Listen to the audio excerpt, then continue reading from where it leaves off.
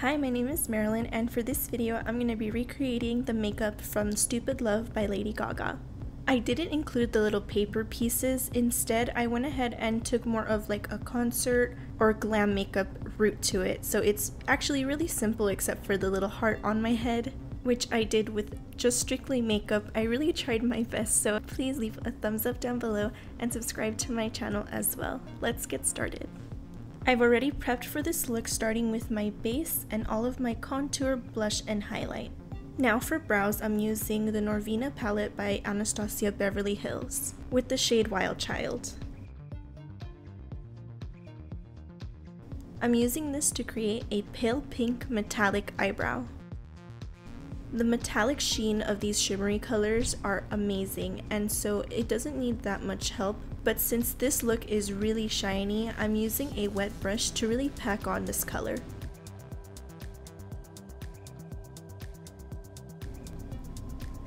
Now with the Haus Labs Punk eyeliner, I'm going to be lining underneath my eyebrow. This product dries really fast, so I want to make sure to work it into my eyebrow and flick it upwards as soon as possible. The most important step at this point is to blend the eyebrows out, so even if it gets a little messy, it's alright because next I'm going in to clean up the brow with concealer.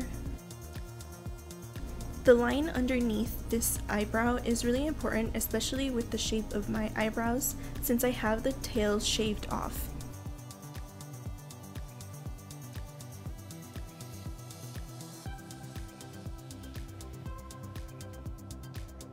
Now I'm taking this white color from the Anastasia Riviera palette called Sails and using this all over the inner corners of my eye.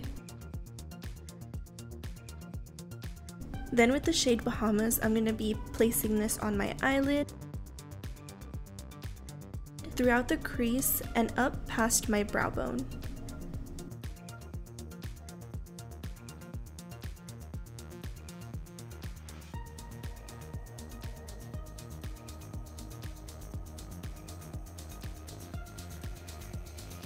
The eyeshadow for this look is super simple. It's just literally these two colors and now I'm going to go in with that same punk eyeliner and create a winged eyeliner shape.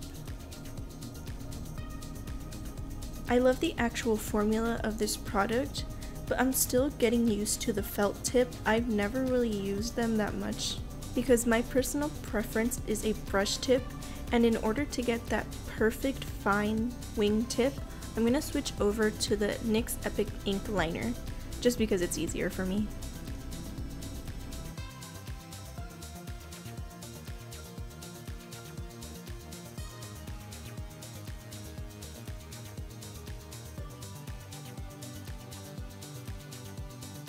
For the bottom lash line, I'm first going in with the shade Bahamas and blowing that out under the eye.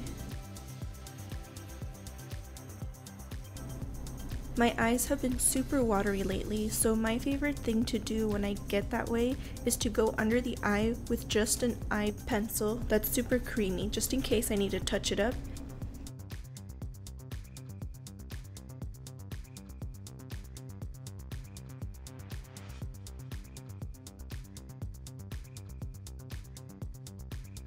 And now I'm just going back into the Norvina palette and picking out the shade Rose Gold.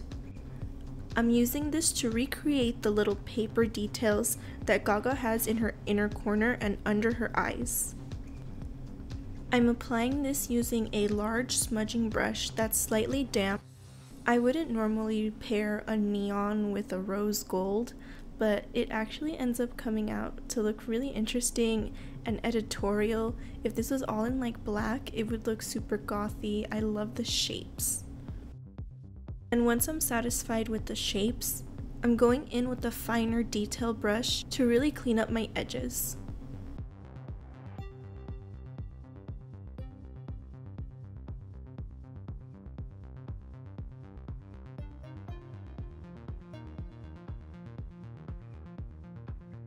And for the lips, I'm going to be adding the Wet n Wild Mega Last Liquid Lipstick in the shade Oh My Dolly. This makeup is completely wearable just as it is, but I'm not done. Next I'm going to be drawing on the heart on my forehead, Starting with a white concealer, I only have this Morphe one, so that's what I'm going to use. There's a lot of details in this emblem, so I'm going to use a water-based eyeliner as well as my Epic Ink eyeliner. Now to set that with the perfect pastel pink eyeshadow, I'm using this one from the Creepy Cute palette by Shroud Cosmetics. It's called Strawberry Milk. I'm applying the shadow using a large fluffy brush. Now, I'm not the best at drawing things on my face. The last time I tried this, it didn't turn out the best. So, sometimes with being an artist, one of the most important things is your tools. For this look, I'm going to be mostly relying on the shapes of my eyeshadow brushes to do the work for me because it's so intricate and I'm scared to mess it up, so I will be bold with my brush choices. To get to the edges of the circle, I'm using a flat, thin eyeshadow brush by Wet n Wild. This one has almost a lip brush shape to it that makes it perfect for packing on the color. I spent a lot of time really packing on color, but I still was seeing that white come through. So to really finish off the edge, I'm going around the circle with my concealer shade.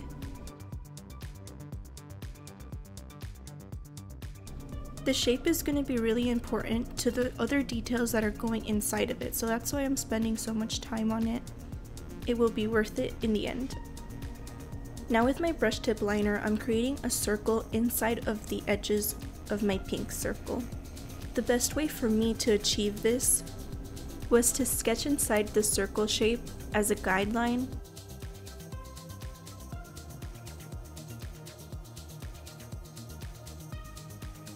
and then I'm going back in to thicken everything up and make sure that it's as even as possible.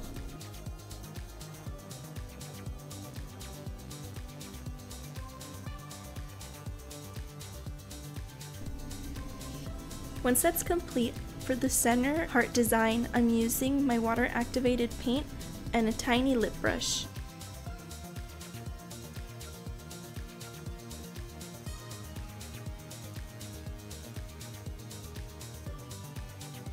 Then for the bottom of the heart, I'm going to find my finest angled eyeliner brush to create the little V.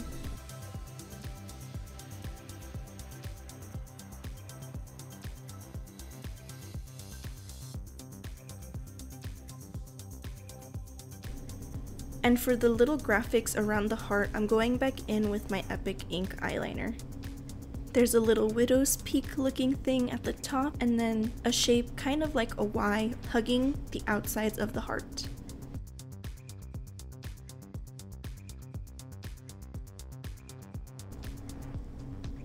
Shapes came out pretty good, but it was lacking dimension, so I'm going in with the Mehron Silver Metallic Powder and their mixing medium to add some fake highlighter spots.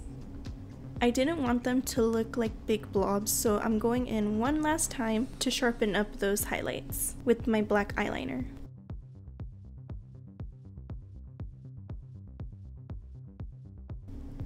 And this is the completed look.